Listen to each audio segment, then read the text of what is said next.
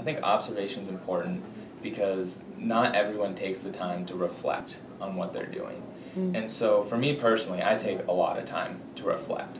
Now that's not to say that I, you know, see everything. That observation is definitely good because then they see, see things that maybe I'm continuously overlooking. So it's just getting that additional perspective or maybe that perspective you're not even seeking at the moment to improve your tutoring so you can be better for your tutees. I I was nervous when I got the initial email that I was going to be observed. I was like, I must be doing something wrong or mm-hmm. something, but when my observer came, he was super mm-hmm. relaxing and easygoing, and he just kind of sat while I was at my session and just just wrote some things down that I either said or was doing in my session that were really good or I could improve on, and then we just had a conversation at the end. I think observation is really important because sometimes you can um, get like in a really uh, like set swing of things and you might not know if your strategies are actually being effective for your tutees because they don't always give you feedback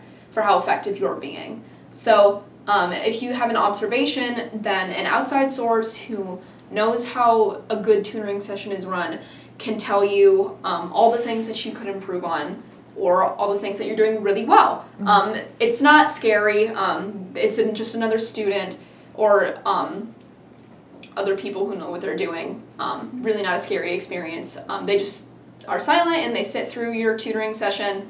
Um, very respectful. They don't interfere at all. My tutees really didn't notice. Um, but it's it's good because um, it, it feels good to be told that you're doing a good job.